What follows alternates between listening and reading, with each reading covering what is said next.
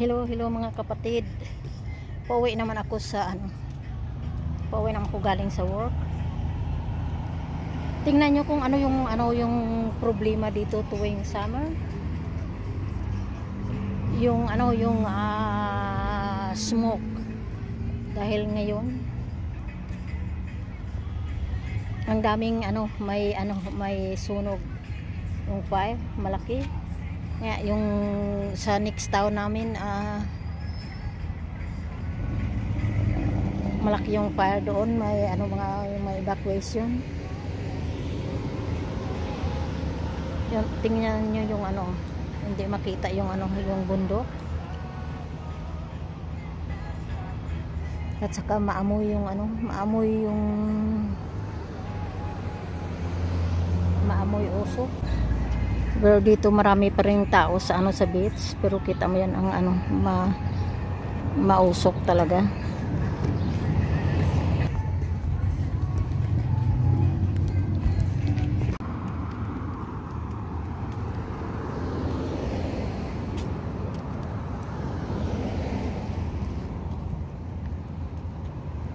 Ah, kita nyo hindi masyado makita yung ano yung bundok kasi ano yung mausok.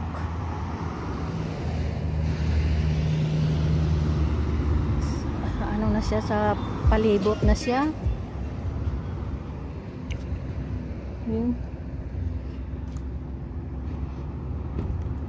Pag ano pa rin ito pa, palapit na palapit dito yung ano. Mamaya hindi na yun ano makita yung araw kahit araw dahil sa usok. Hindi, hindi mag ano to maglo uh, lala. Kasi sa palibot dito yun may ano may sunog. Ang dilim na ang dilim ng ano ng paligid dahil sa ano, ng usok. Hindi mo na masyado makita yung ano yung bundok. Kahit na ang init-init ng araw sana. Kaya nga hindi maka-enjoy yung mga tao dahil isa lalo na pag yung may mga sakit kasi yung maano mo yung ano yung usok. Doon sa may kabila ng ano ng bundok makita mo na ano yun uh, mapula. Talagang malaki yung sunog doon. Medyo ano smoky dahil may fire. Pero ang daming tao at saka medyo mahangin ngayon. Kaya nga hindi masyadong mainit yeah okay guys yun lang pakita ko sa inyo kung ano yung sitwasyon ng ano ng beach. Yeah.